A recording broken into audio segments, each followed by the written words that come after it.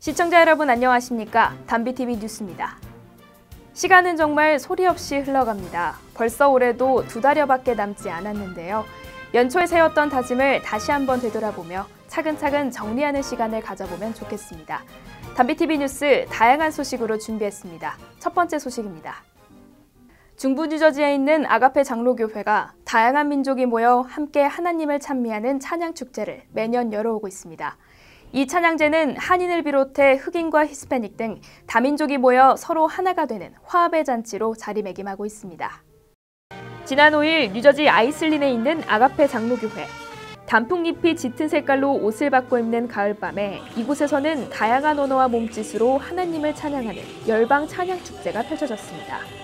올해로 여덟 번째를 맞는 이번 행사는 한인교회를 비롯해 백인, 흑인, 히스패닉 교회 등 다양한 민족들이 함께 모여 주님의 은혜에 감사하는 축제가 됐습니다. 이번 축제에는 여느 해보다 더 많은 한인교회와 찬양 사역자들이 참여해 더욱 풍성한 화합의 잔치가 됐습니다. 흑인 등으로 구성된 밴드 연주로 열기가 오른 무대는 프라미스 교회 영어 예배 댄스 팀의 화려한 공연으로 꾸며졌습니다. 특히 CCM 오디션 가스펠스타C에서 톱10에 오른 신디리와 폴류가 출연해 큰 박수를 받았습니다. 슈퍼스타 K 톱4에 오른 크리스티나 러브리도 뛰어난 가창력을 선보였습니다.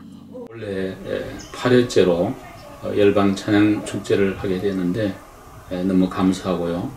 어, 해가 갈수록 좀 더 다양해지고 또 풍성해지고 또 아주 열기가 넘치는 것 같습니다. 원래 여러 어, 다민족 어, 교회에서 또 팀들이 밴드가 이렇게 와가지고 어, 깊어가는 가을 밤에 특별히 11월 추수 감사절도 있고 감사의 달인데 에, 열방이 모여 하나님을 찬양하는 거 우리 하나님이 굉장히 기뻐할 걸로 그렇게 생각을 하고 이번 축제는 춘누리 전통무용단과 주류신학대 합창단의 다채로운 무대로 꾸며졌습니다.